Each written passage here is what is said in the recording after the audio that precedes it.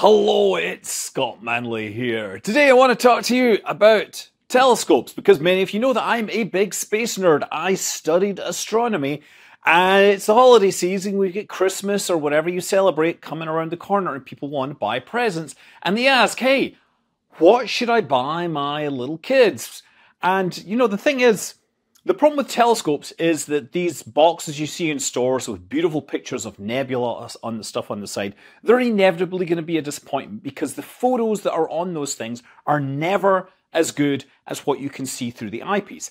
I generally actually recommend starting something like one of these little backpack telescopes. The reason is that you can get a small telescope that's not too fancy and you can use it camping. It's not a big commitment and if you get bitten by the telescope bug, you can buy a bigger and better telescope, but you don't need to get rid of this little thing. Now, this is by Meade. It's like an 80 centimeter refractor. It uh, comes with a little tripod and stuff. It was less than 100 bucks. And you know what? I don't think you can buy it anymore because Meade is out of business. So is Orion. We've had a terrible year. We've lost some really big manufacturers of traditional telescopes. The other thing that's happened in the past few years is the rise of proper digital smart telescopes.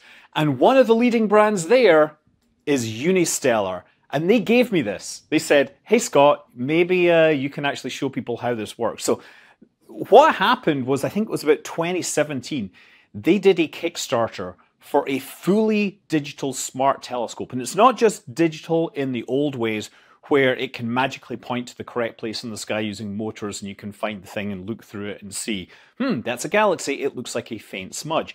This thing has a camera in it which will automatically add up the light, it will align the images, and as you watch it over time, it will produce better and better images, just like you're taking a photograph. And this is a beautiful new experience because it means that those photographs on boxes of colorful nebula are actually what you will see with these telescopes. So this is the Odyssey Pro, and uh, as you can see, it's a fairly small little telescope here. I'm just going to pop this out here. So this design, uh, it comes with a tripod. Pretty easy to set these things up. And of course, I suspect what I'm going is just this thing, you know, with our, um, you know, and there you have it. That's your telescope. Really simple to set up. And then you whip out your smartphone you turn this thing on and it'll start talking to it. And we'll talk more about that in a bit. Um, I can't actually show you that with my smartphone right now because I've realized that I've set it up as the camera here. So I'm obviously going to have to shoot this some way differently. So yeah, the, the actual telescope itself, if you take the cap off, you can look down inside there and see the primary mirror down the bottom, right? And here you can see a secondary mirror which is shooting the light sideways, and there's a tiny hole there on the side. That's where your sensor goes. So this is a Newtonian types telescope. Now the camera is running like a video camera, and it's constantly figuring out where the stars are moving from one image to the next. And so it'll align all those, add up all the brightnesses, and then over time, it will generate these deeper and deeper views. And typically when it's running, uh, you know, you'll, you'll look at a blank patch of sky, it'll say that this is, you know, some galaxy. And you might see a tiny hint of it there. But then once you turn on the observe button, it will uh, start to bring it out of the background. It'll emerge. It'll first be noisy and then it'll get smoother and smoother. You'll start to pick out details. And then after a couple of minutes, you might even get color. It'll switch into a mode where it's collected enough data that it can actually start to enhance the color. And I've got some videos of this in action. And by the way, if you're sort of hearing in the background, it sounds a bit windy out there. Uh, I got this on Saturday, and then atmospheric river comes in, biggest storm, first big storm of the year. It's going to be, you know, cloudy, rainy, windy. I had two potential nights, one of which was sort of overcast. So I've had one and a half nights to view this. But yeah, this is the most perfect example of new telescope curse. And I want to interrupt my previous self here to just show, you know, set some expectations. These are images that I took on the night when we had that haze. I didn't have a huge amount of time. But first of all, You can tell from this image, this is the approximate field of view of the telescope. It's actually square, but they put this nice frame around it. So you can see it has a field of view that's slightly bigger than half a degree, so large enough for the sun and the moon. It has a 4 megapixel sensor, and it's backed by a whole bunch of smarts. Now, the atmosphere, of course, has turbulence. The images at high resolutions tend to shimmer, and it just it uses lucky imaging to figure out when the thing is perfectly in focus and combine those parts to make a better image than you would get from a traditional imaging system. And that same technique can of course be used to take images of planets like Jupiter. And the longer you can leave it on the target, the better it's going to get. But these are bright objects. The real impressive thing on this hazy night was being able to image galaxies and nebula. Now, I used to do some astrophotography with a traditional telescope, and the fact that I could get this image on a hazy night just sort of blows my mind. What it's having to do is do background subtraction. It's trying to you know, pick up the features, accentuate those, line them up, add them all together to improve the signal to noise, and then adjust the intensity and color curves to finally deliver an image like this, which was again taken through haze. And I would not be doing that if it wasn't for the weather system that was moving through. Ideally, you would be shooting under perfectly clear skies.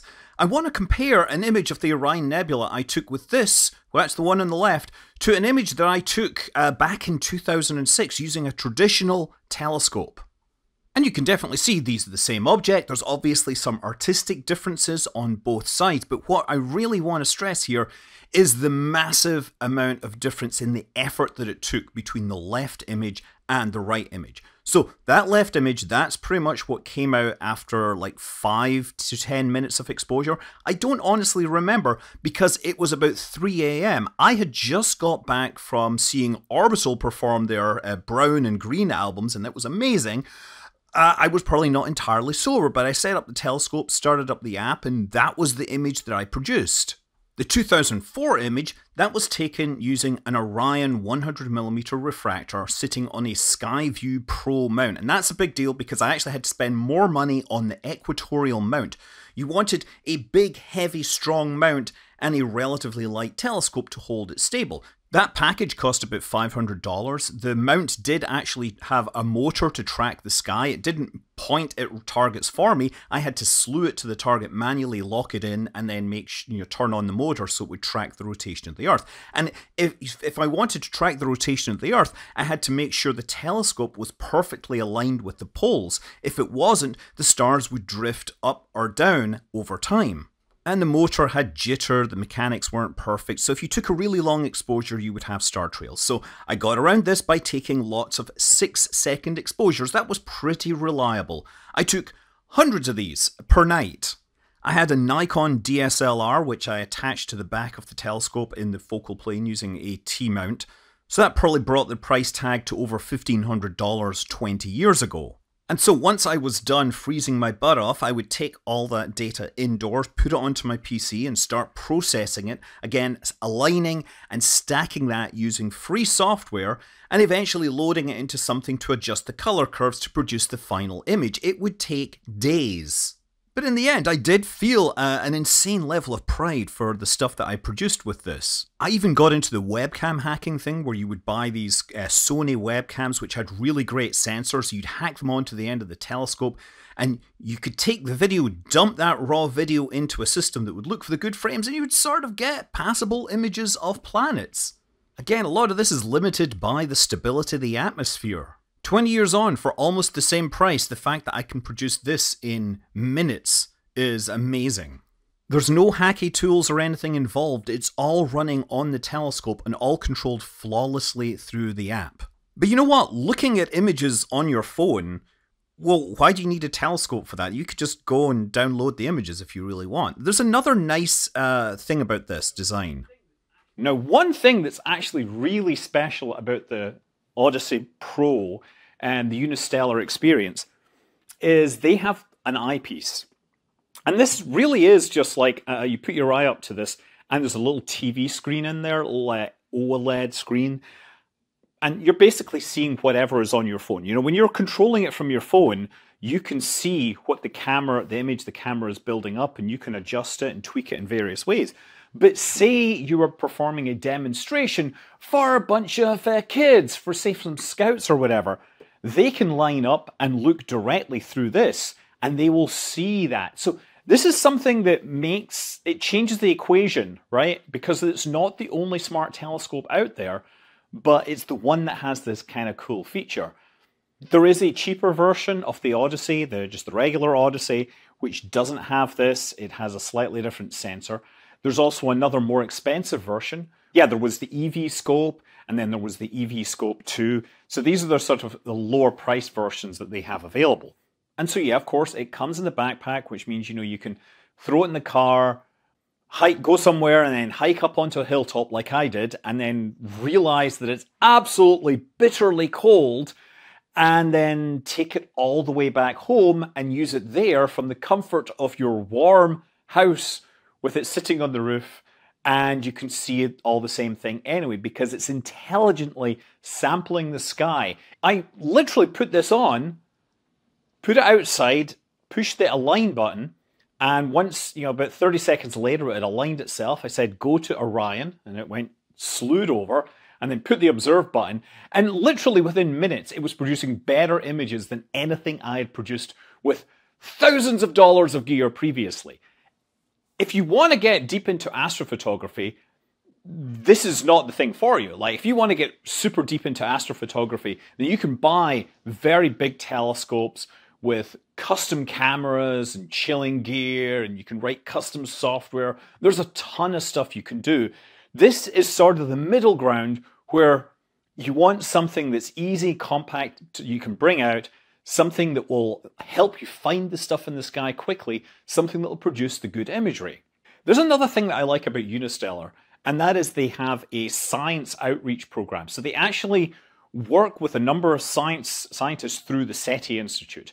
So it turns out there's a whole bunch of scientific observations which don't need massive telescopes like the Keck or space telescopes like Hubble. They're rather boring, small, mundane measurements of things like asteroids, occultations, and what you really need is lots of small telescopes. Uh, and you can work with uh, these groups. You can go and collect asteroid astrometry or detailed imagery with this thing very quickly have it automatically upload, and you can actually be part of scientific programs. So now, having sung the praises of Unistellar's Odyssey hardware, I feel that I should point out that while Unistellar invented the modern digital telescope, they're not the only game in town anymore, and one of the bigger competitors is China's ZW Astro. They make a beautiful compact little telescope called the Seestar, and it comes in two varieties, the S30 and the S50. These are um, they're, they're refractors. The S30 has a 30 millimeter lens, the S50 has a 50 millimeter lens. And these are you know, really small, compact, and a lot cheaper. And if you know that is what is compatible with your budget, that is fine. Unistellar's Odyssey has a bit of an advantage in terms of its aperture. It has a mirror which is 85mm, significantly larger, uh, but that's a reflector. Also, it has a 4 megapixel sensor, whereas the Seestars use a standard HD sensor, and that's 2 megapixels. And so, between the lower resolution sensor and the shorter focal length optics, the Seestar doesn't have the same angular resolution on the sky as Unistellar's Odyssey. And that's not going to matter for things like Orion, but it will matter for things like planets or planetary nebula. And also, uh, since you're using your phones to control these smart telescopes, you don't underestimate the phone as an astronomical device. Most of the good phones these days have like a dark mode or a night mode that takes long exposure and stabilizes the image, and you can get some marvelous images of the night sky using just that. When the aurora were recently visible, it was hard for me to see with my naked eye, but it was really easy to see with the iPhone. So look, the Unistellar hardware isn't that cheap. It's not something you're going to buy uh, your kids if you just want to give them something to mess around with. You know, one of these backpack scopes is great. Um, at this point, if you're wanting to buy a telescope that will actually give you the imagery that you see on those old boxes for telescopes, then you're looking at an electronic smart scope. And it's the smart place to be these days. The electronics are now so cheap, so reliable, and uh, the software is great. producing the images that you always dreamed that you could see. You had to imagine that you could see these things, but these days you can actually take that imagery. And so this is the point in the video where I remind you all that Unistellar loaned me this telescope and if you are interested in buying one, there is an affiliate link in the bottom in my uh, description there. There will be a code which you can type in during checkout, Scott1124. And if you do this during the next week, during the Black Friday sale, not only do you get a big fat discount, but you're also going to get a free solar filter and I will get a small cut of that for my trouble. And while I can confirm this is the most fun I've had with a telescope in a long time, I cannot guarantee that when you get a telescope that the skies will be clear. I'm Scott Manley, fly safe.